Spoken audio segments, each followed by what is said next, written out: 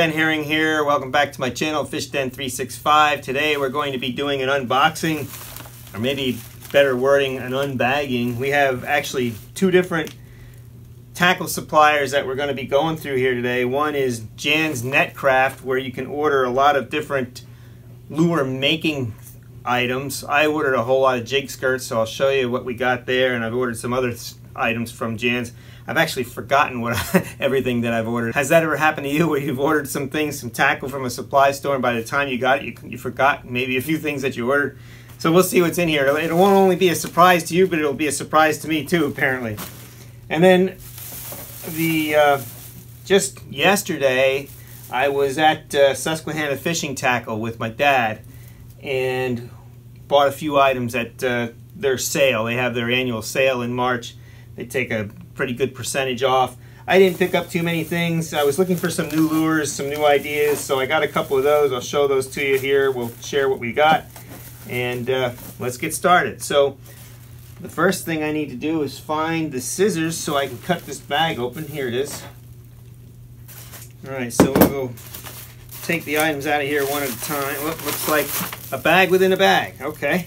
So this is uh, just kind of preparing for the season and, and getting ready for spring. And so a lot of the my bait choices were baits that uh, are going to get me ready for spring. So a couple items here. First one is we have uh, a Zoom Trick Worm in bubblegum color. Look at that bright pink. That's a really oddball color you might think, but sometimes that color, it can be quite good for both largemouth and smallmouth bass. And oftentimes when you're fishing spring of the year, you fish a floating worm technique where you just put a hook in this. Basically, basically you just Texas rig a hook, no weight, you throw it out there and you fish it like a jerk bait. And that floating worm in dingy colored water is really bright and you can see it real well and you can see when a fish overtakes it. So that's one of the advantages of, of using a color like that. Next up, we've got uh, a robo worm here. This is uh, a four and a half straight tailer, four and a half straight tail Ehrler, Ehrler's Edge worm. Ehrler uh, is a uh, tournament fisherman, and this is one of the colors that he has. Let's show this to you. Brent Ehrler, he's a very good fisherman.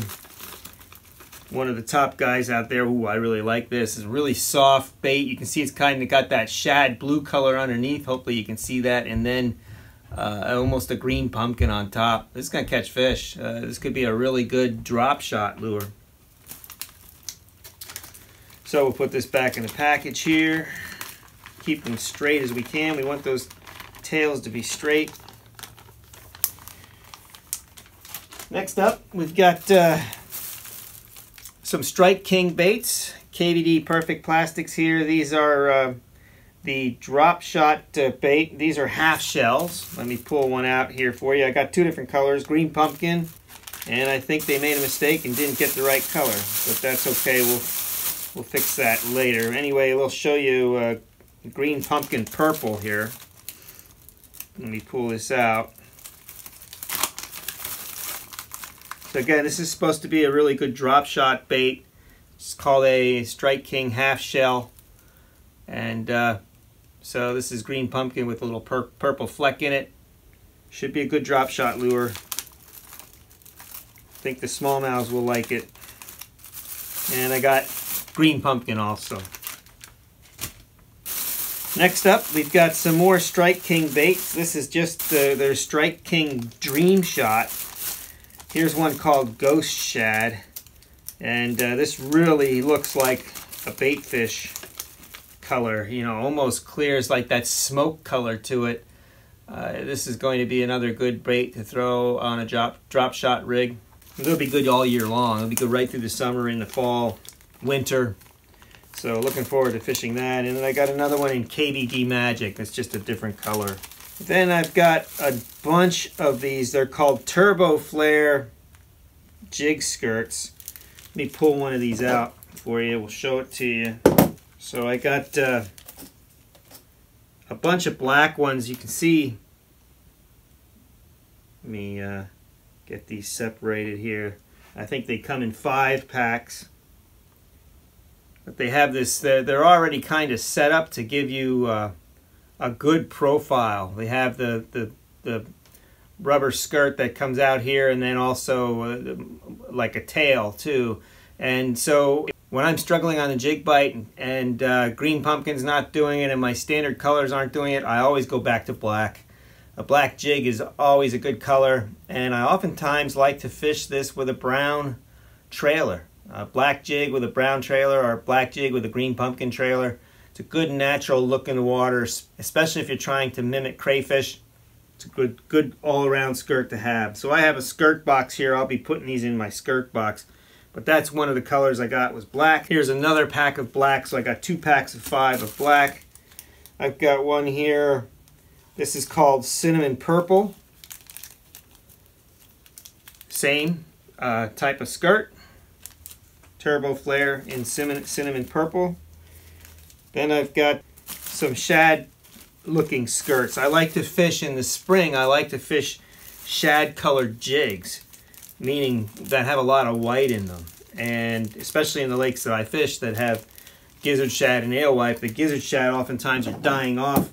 And uh, usually the first days out in the water, if I can't get them on a spinner bait or if I can't get them on on a swim jig, I'll throw a regular jig with a shad, a whitish shad skirt like this. This particular color is called Ghost Minnow. You can see it's got the white and it's got like some green pumpkin strands. So the white would be the belly and the top would be the green pumpkin. Just the same here, I got five of them. And uh, so these skirts I find can be very effective. A white jig in the spring, I really like to fish when the shad die-off is taking place. That's a secret that uh, I usually don't let a whole lot of people know about. So try it. You won't be disappointed. More of the same. Got five more of those. This is a color that's a little similar called Ginrin. It's got a little bit more color to it. I'll open that to for you here. So here's Ginrin. It's got the white, it's got some purple strands and some pumpkin, green pumpkin in there. A little more color to it, but another good shad colored jig skirt. Got another one the same thing, another set of five.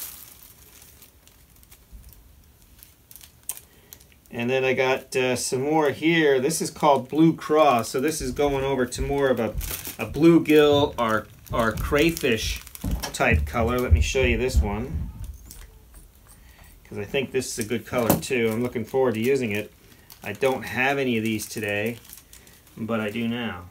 Oh, and these are the finesse ones. So there's also finesse turbo skirts. This is called Blue Craw.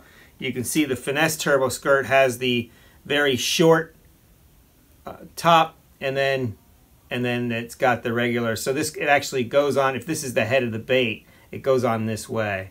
And so it's a more of a, a finesse jig and this could be a, a, good crawfish color. It could also be a bluegill color too. I like those couple strands of bright blue. Not too many. That's going to catch some fish. I like that color.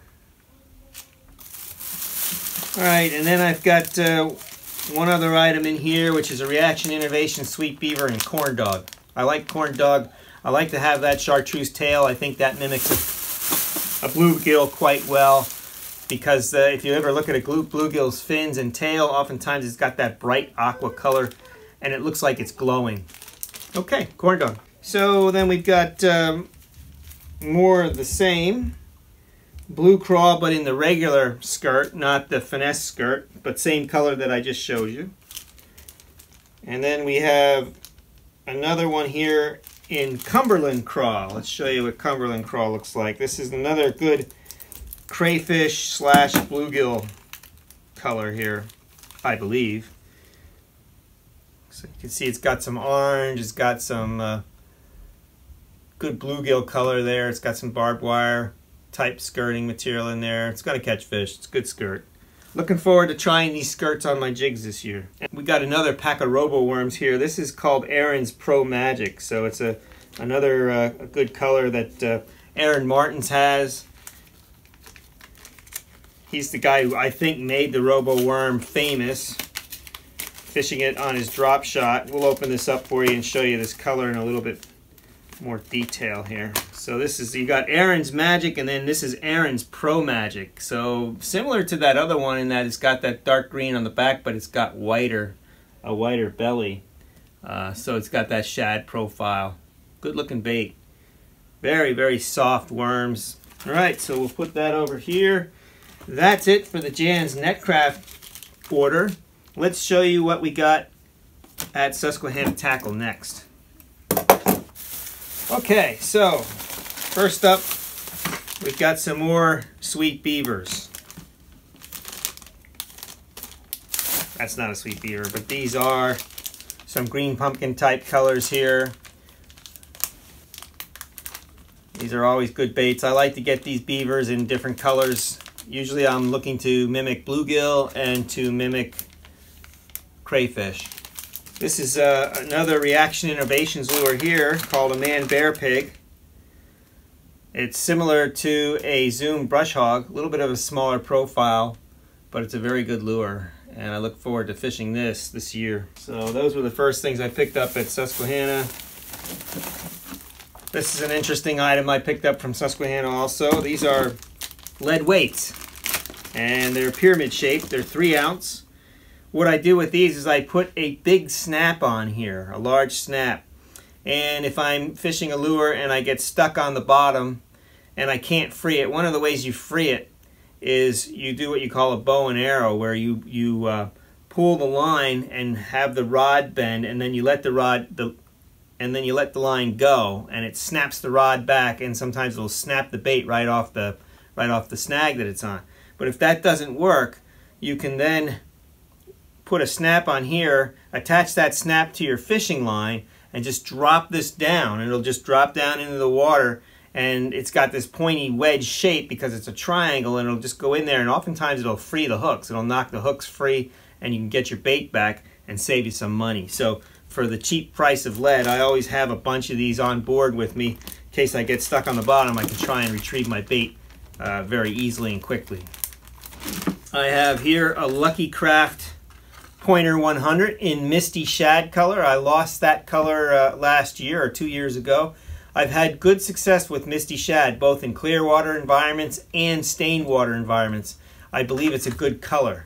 I think it's a good shad imitator and it, it seems to catch a lot of fish for me. So Misty Shad is what that one is. And then I spent a little bit more money on the Megabass Vision 110, this Ito bait. This is a perch pattern.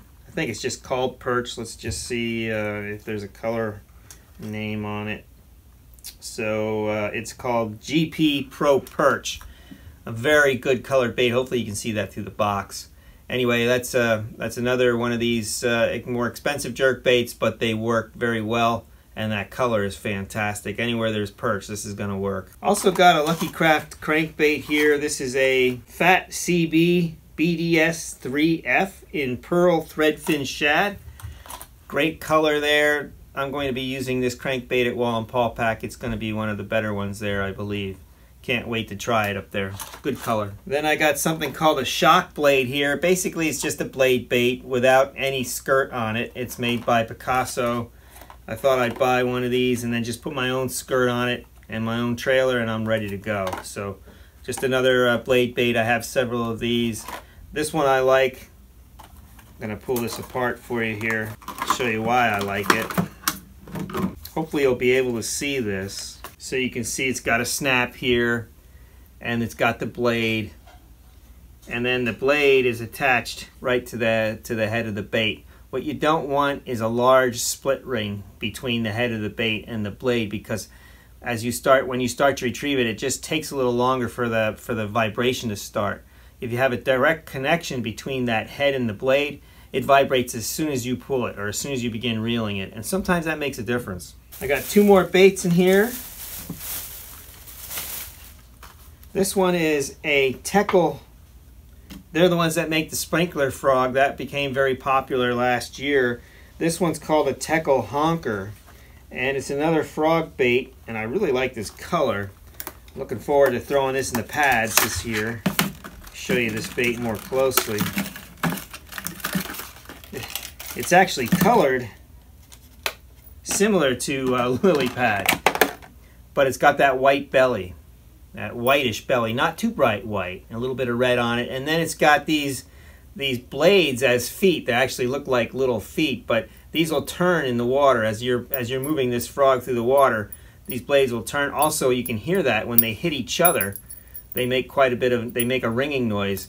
If they hit each other in the water, they'll do the same thing under the water, and that can attract the fish too. Never fished this thing before, haven't even heard anything about it, but I like the design. You can make these on your own, by the way.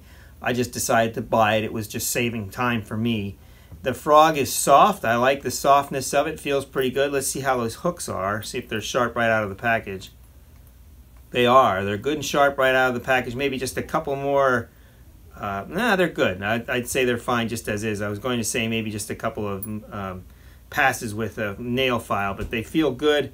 We'll have to see how it walks. It's got this nose down design, so I'm not sure what to make of that. It's probably more of a bait that's meant to do this which is fine. Uh, both work, both styles work.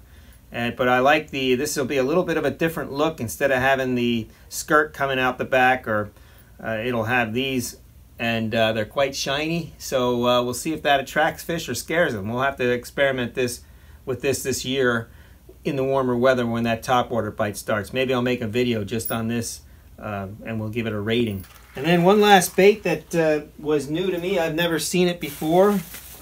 It's called a Grinch.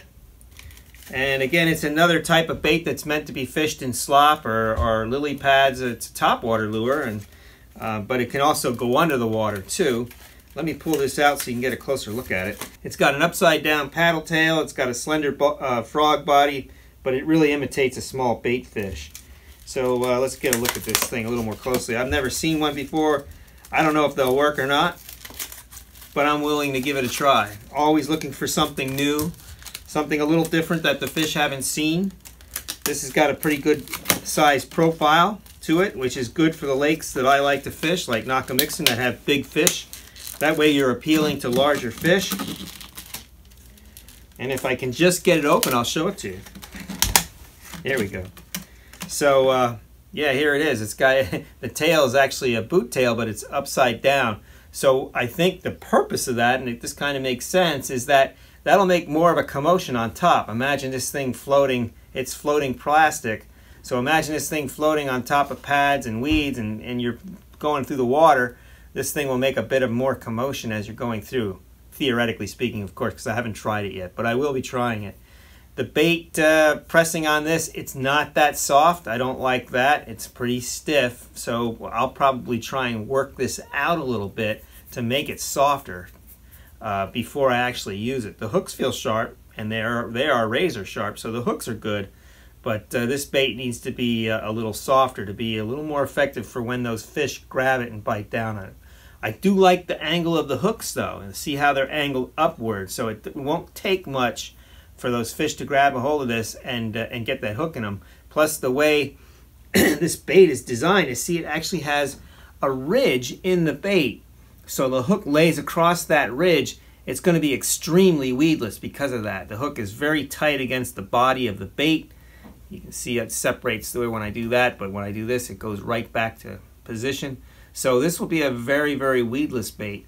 Interesting to give it a try. I'll have to give it a decent try and see how it works. Well, that was the last item I had from Susquehanna Fishing Tackle.